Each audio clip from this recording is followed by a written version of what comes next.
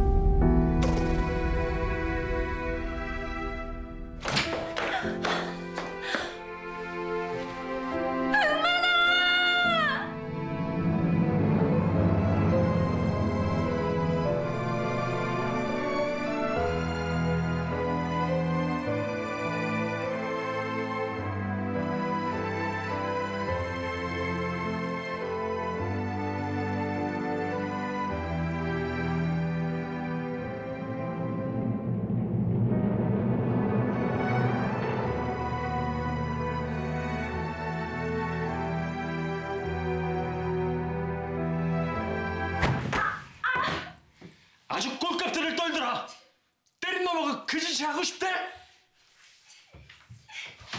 미안하잖아. 걔 나 때문에 별 달았어. 딴 놈한테서 나 구해주려다가 처음으로 별 달았다고. 난 저놈보다 너한테 더 화나. 오빠가 장사